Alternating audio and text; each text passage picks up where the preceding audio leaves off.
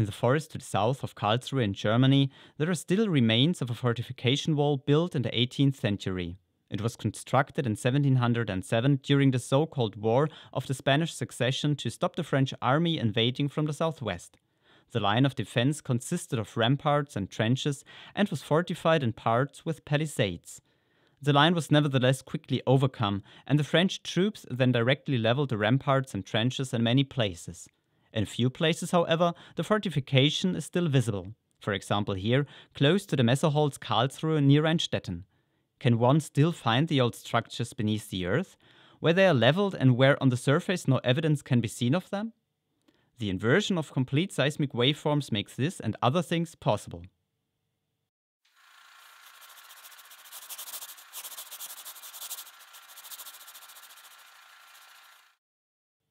Hello and welcome.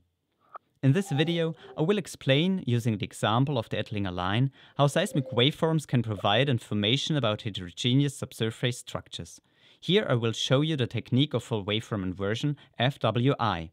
Using the example of the Ettlinger line, I will show you how to identify the level trench within the ground. You will learn how the full waveform inversion works, how it is implemented technically using a computer, and what previous knowledge of the subsurface is necessary for this.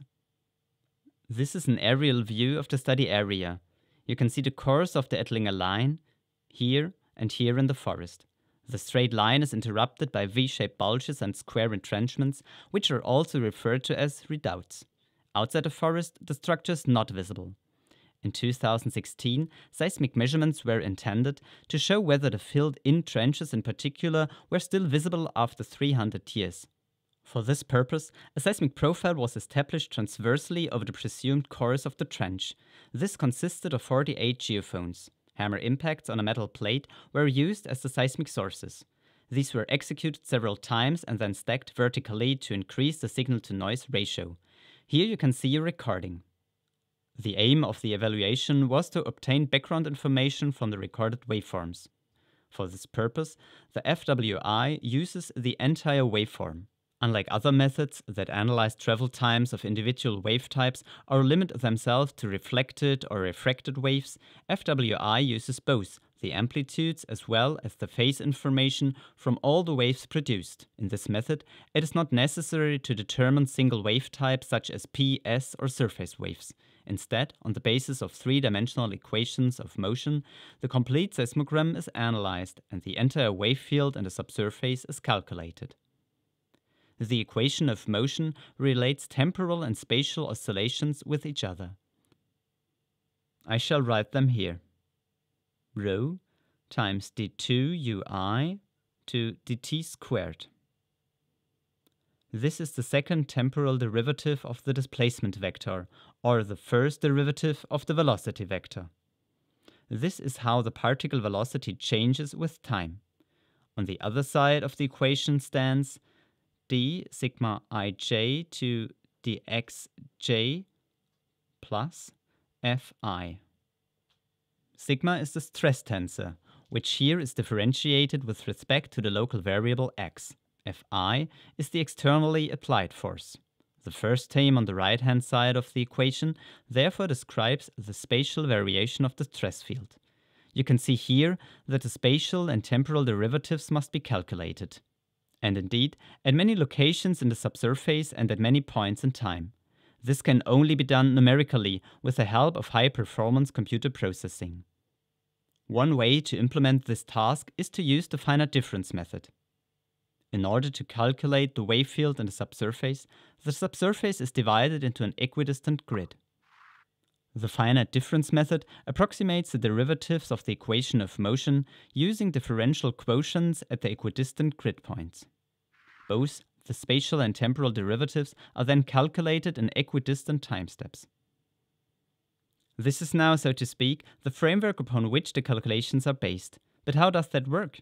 The objective of inversion in geophysics is always to deduce the material properties of the subsurface from the observed measurement data.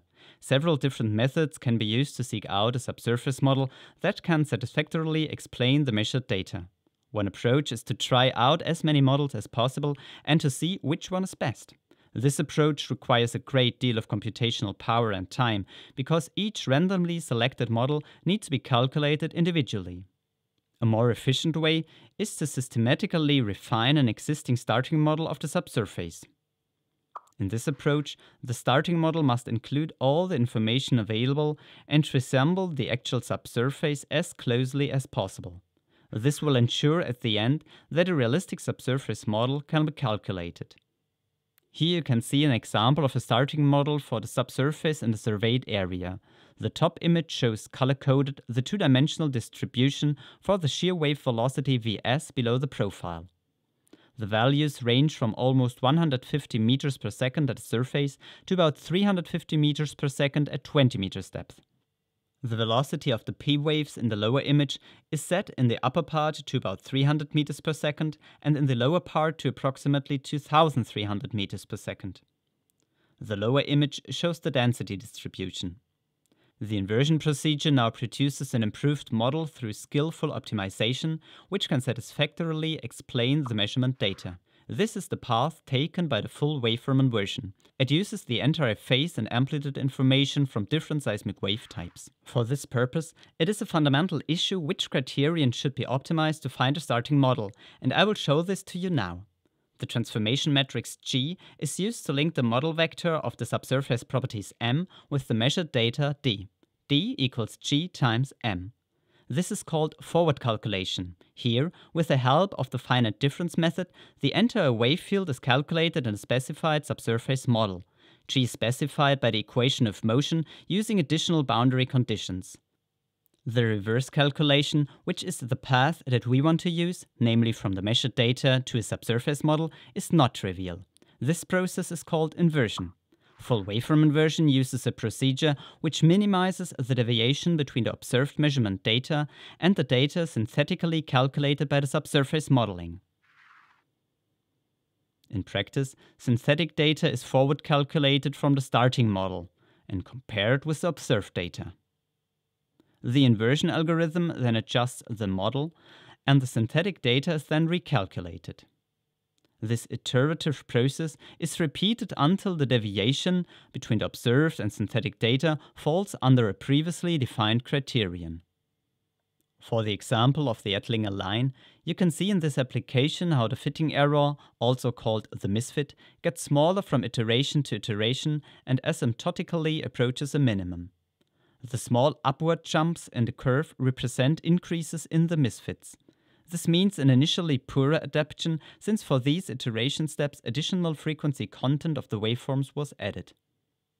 The additional data is expected to make the fit inferior, but this improves again in the subsequent steps.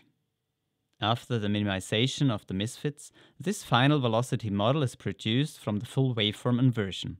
Clearly, one can see in the middle of the profile a hollow with an increased shear wave velocity. While Vs velocities of around 100 meters per second prevail there, the surrounding velocities are 150 to 200 meters per second and slightly higher. The hollow coincides with the presumed location of the Ettlinger line. The reduction in velocity is due to the presence of less solidified material with which the trench had been filled all those years ago. For the final velocity model, this animation shows how the waves propagate in the underground.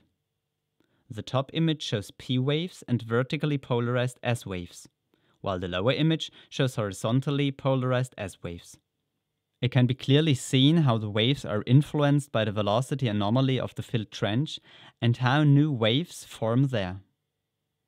The animation visualizes what happens in the background during the inversion process, the calculation of the wave field in the specified subsurface model. During the inversion, the resulting synthetic waveforms could be calculated at the observation points on the surface and compared with the observational data. In this video, I have presented how full waveform inversion has been applied to study the Ettlinger line. This method uses the entire recorded waveforms and calculates a wave field through the subsurface. The calculation is very time consuming, and you have learned that the calculation of the wave field is technically implemented using the finite difference method. During the course of the inversion, a realistic starting model of the subsurface is improved over several iteration steps until the misfit between the observed data and the forward model data falls below a predefined value. In this way, it is possible, with the help of full waveform inversion, to analyze even weak velocity contrasts, such as those that occur within a subsurface at the trenches of the Ettlinger line.